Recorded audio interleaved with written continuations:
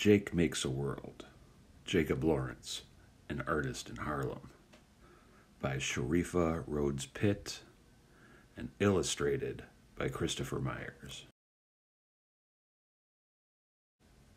In the morning, Jake watches the sun wake up. He makes a big stretch, and the sun stretches too. With first light, the dancing dark shadows begin to fade then the colors come again. Yellow, orange, and blue on the quilt that covers Jake and his brother's bed. Mother's paper flowers in pink and red. His feet sink deep into the thick blue rug. When his toes touch the ground, it's like the sky upside down. When Jake moved to this city, this New York, to the neighborhood called Harlem, to live with mother again. These familiar things from his old home in Philadelphia greeted him like long lost friends. Outside Jake's building, men play chess and checkers, balancing their boards on their knees. Older boys sell fruit from a wagon or ice from a bucket, shouting for people to come down and get it. Mothers walk fast to work and more work. Signs promise home cooked meals for 15 cents and shoe shine to make you brand new. A preacher in a hat shouts and sings about God. A newsboy tells the stories of the day from downtown and around the world, but tells them with a tune.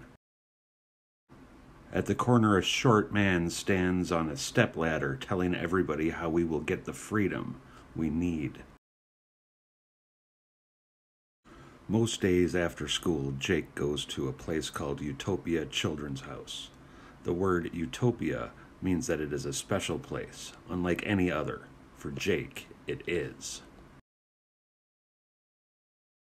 At Utopia House, Jake makes things with his hands. He carves a block of soap into a fish.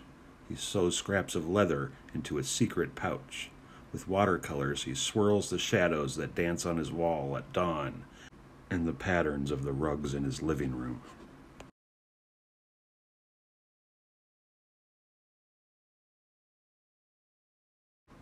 Jake takes a stick of charcoal and draws a pair of eyes to see everything the people on the street see. He draws one pair of ears to hear all the shouts and songs, one mouth to carry all their voices. All the faces Jake sees on the street become one face.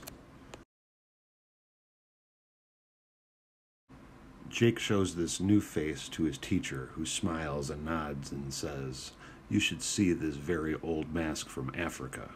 Jake stares at the mask for a long while, and then he makes his own mask from brown paper bags and glue and paint. When he is done, the mask smiles at him. Jake takes a shoebox, and in the box he tries to fit the whole street. Inside are cardboard chessmen, tiny boys folded from construction paper, and mothers walking fast to work, wearing dresses cut from magazines. He stacks the matchboxes to make buildings and paves the street with sandpaper. Jake has made a world, a small piece of this place called Harlem. It is now his home. Jake's Harlem has all the shouts and songs and notes of the Harlem outside. But here they are not sounds, they are colors, they are shadows dancing, they are rhythms, they are light.